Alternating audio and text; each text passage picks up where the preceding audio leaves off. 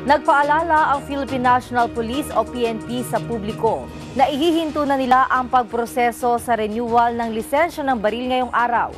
Sinabi ni PNP Firearms and Explosive Office Director Chief Superintendent Virgilio Moro Lazo na sa ilalim ng Comprehensive Law on Firearms and Ammunition, hindi na pinapayagan ang renewal ng lisensya ng baril. Kailangan kumuha sa PNP FEO ng lisensya para magkaroon ng baril ang mga gun owners, gayon din na rin sa mga buyers.